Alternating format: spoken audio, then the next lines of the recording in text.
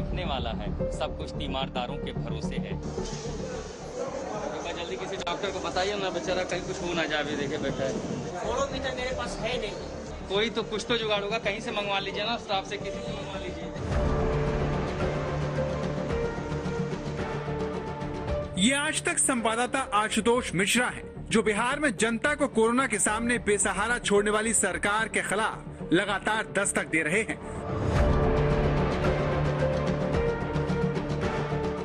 सोमवार को सारे देश ने देखा कैसे बिहार के आरा में सरकारी लापरवाही ने देखते ही देखते एक मरीज़ की जान ले ली।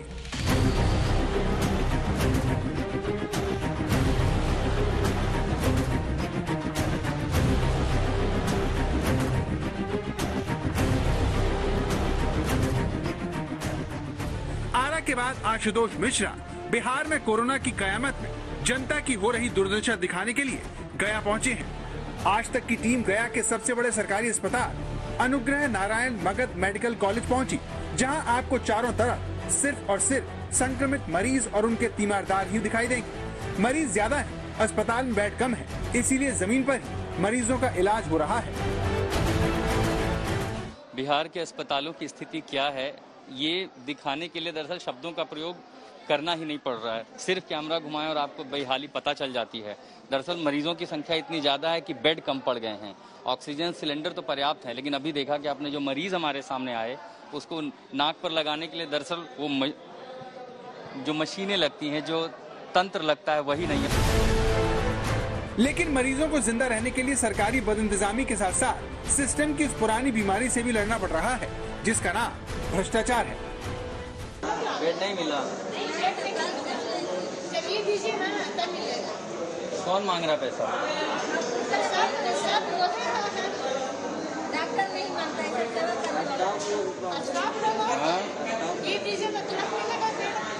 बेड बेड नहीं मिला आपको? मिनट हुआ दिक्कत क्या हो आपने बेड मांगा इनसे? मांगे? क्या बोले? हमरा वहाँ तक छोड़ दे। बेड नहीं है करा बेड नहीं है। ऑक्सीजन तो लगा दिया। ऑक्सीजन दो हज़ार रुपया देता दिया। किसको दिया दो हज़ार? कौन से स्टाफ को? दो हज़ार रुपए जब तक इनको दस बार जाकर नहीं बोलिए कि मैडम ये दवा बचा हुआ है। मैडम ये भी दवा आप, आपको देनी है। बीपी बढ़ा हुआ है शुगर बढ़ा हुआ है कुछ भी चेक करने के लिए करते करते घंटा लगा देते हैं ऑक्सीजन देने में कहीं यहाँ जाइए तो तो वार्ड वालों पर जाइए करते हुए एक घंटा से कम नहीं लगाते डॉक्टर तो कभी चेक करने के लिए आते ही नहीं है जल्दी। कोई डॉक्टर नहीं आते हैं सिर्फ़ जो है नर्स सिर्फ़ देख रही है।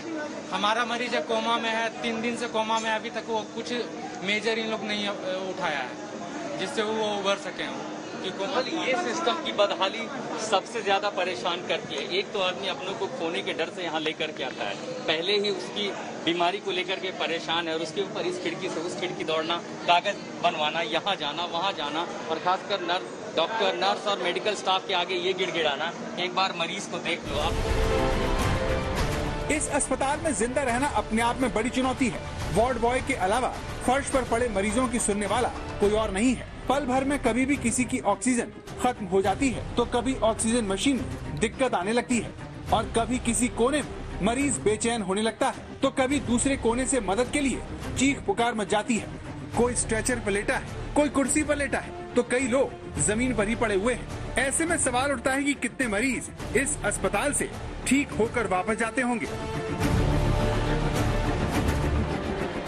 अभी तक तो सर दम तोड़ दिया होगा कम से कम डी कर गया होगा तो सौ डेढ़ सौ पार कर गया होगा सर। कितने दिनों में? दस दिन में।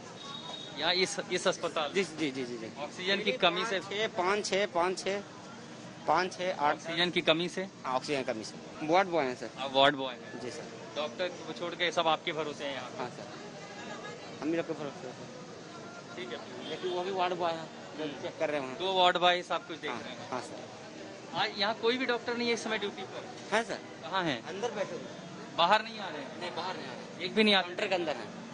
डॉक्टर काउंटर के अंदर। हैं। बाहर आते हैं कभी? डॉक्टर वहाँ अंदर से रिज्यूम देख लेंगे पेपर पे दवा लिख देंगे सिस्टर आके दवा देंगे। यहाँ नहीं आते थे। यहाँ नहीं आएँगे। पेशेंट से नहीं मिलते। पेशेंट के पास नहीं यहाँ एक महिला का ऑक्सीजन खत्म हो गया है।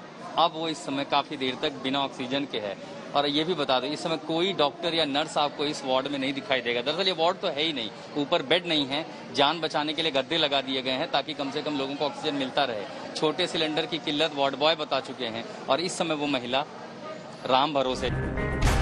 पूरा अस्पताल वार्ड बॉय के हवाले है। मरीज़ की जान भगवान भरोसे है, लेकिन अस्पताल प्रशासन इसी बात में खुश है कि ज़मीन पर ही सही वो इलाज तो कर रहा है।